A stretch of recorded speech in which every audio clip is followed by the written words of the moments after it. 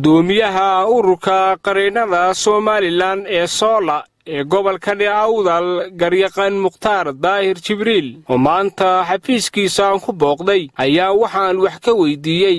Sharcigu waxa uu ka qabo dadka iyagu u xidhan afkaartooda ay cabbirayaan islamar ahaantaasina ay warbaahinta soo marinayaan. Garyaqaanka ayaa su'aashaasi aan weydiiyey wax daba taallay. Xadhig bowrama loogu geystay suldaan abshir maxamed ducaale oo ka mid ah salaadiinta dhaqanka ee gobolkani awdal oo isagu xidhan hadal uu dhowaantani warbaahinta soo mariyey oo ku tacalluqay. Shirkad iyadu doonaysa in ay macdanta ka gurato gobolkani awdal ayaa garyaqaan mukhtaar daahir jibriil oo aan amuurtaasi weydiiyey ayaa waxa uu ku jawaabay. Waad mahadsantihiin booqashada inaad igu soo booqateen xafiiska bada saxaafadda gobolka awdal runtii horta anu intaan ka warqabo suldaanka waxaan ku booqday saldhigga dhexe magaalada boorame waraysaan la yeeshay waxa uu ii sheegay keliya in mataqaanaa lagu soo xidhay hadal uu ka jeediyey dhowaan warbaahinta. Runtii xorriyatul qowlka. Mubaalka ka muuqata inuu suldaanku u xidhan yahay.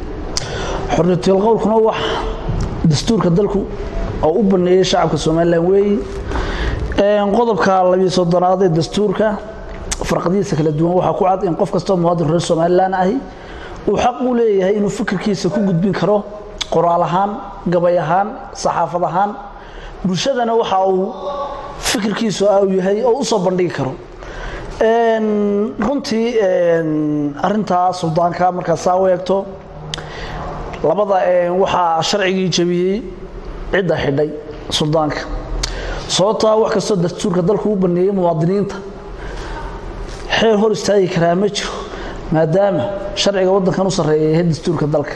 Waxaana habboon in laamaha dowladdu ee kala duwan ay kolley tixgeliyaan shuruucda waddanka. Si kala dambaynta ka dalku ay u noqoto mid sideeda sharciga ugu taagnaata.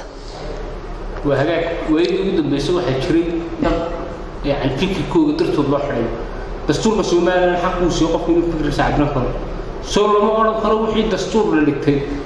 Dee imika waaba laga sii tallaabsanayaayo dowladdu waxay doonta samaynaysaa horta runtii waxaa wanaagsan de dowladdu waxyay kala leedahay oy kala madax bannaan tahay.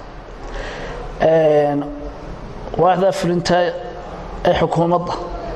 Waan u jeednaa in badan inay hadda shacabka reer somalilan gobollo kala duwan iyo oo ay ka cabanayaan xadhiggaa sharci darrada inta badan aan loo marin broseska u amrayo xeerka habka ciqaabta ee ah in qofkan ka hor intaan la xidhinba dee waaran loo dalbado.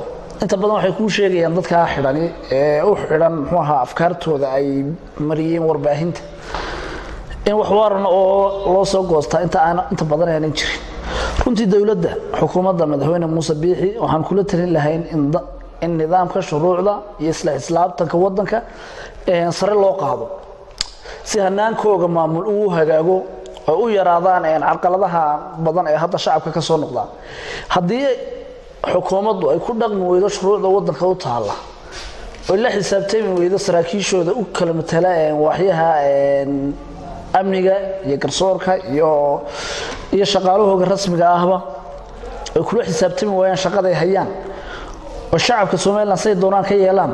Runtii waxaa ka iman doonaa waxaan aan dadku mahadin dalkuna aanan wada mahadin oo dhibaato u horseedi kara dalkana waxaana si aadan marar badan oo madaxweynahana kolley kulankaygii la tashiga labadii kun iyo toddobiyo tobankii nala yeeshay kolley waan ugu darnay talada xagga xisaabtanka iyo ku dhaqanka shuruucda dalka madaxweynaha.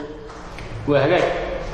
Arrintan qowlka ee yani xadhigga iyo waxyaabaha soo badanaya ma la odhan karaa waxay wiiqaysaa ama ay saamayn ku yeelan kartaa dimuqraadiyadda somalilan ka dhaqan gashay ee dee beesha caalamka ee hadda ay somalilan ku taageersan tahay. Dabcan waxaynu nahay dalkan somalilan dal dunida iskugu soo sheediyey hanaanka dimuqraadiyadda een dalka ka abuurnay. Ee hanaanka doorashooyinkeenna waddanku halka ay soo gaadhsiiyeen.